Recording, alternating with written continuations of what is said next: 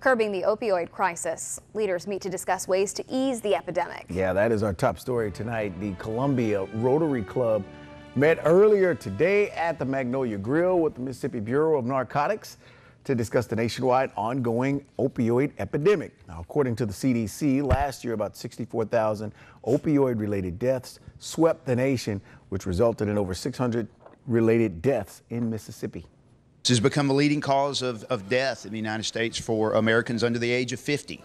Uh, we're, we're, losing more people to accidental opioid overdoses than uh, automobile accidents, than to uh, gunshot wounds, uh, and, and, and, this is kind of has increased uh, dramatically over the, the past 10 years or so. We have sought partnerships with the treatment community, with the Department of Mental Health, with our, our medical board, our pharmacy board, with uh, faith-based groups, with community service groups like the Rotarians, um, to, to come together and, and educate each other and, and look at the, the issue from everybody's individual perspective to, to kind of come up with a holistic approach to, to solving the, the epidemic.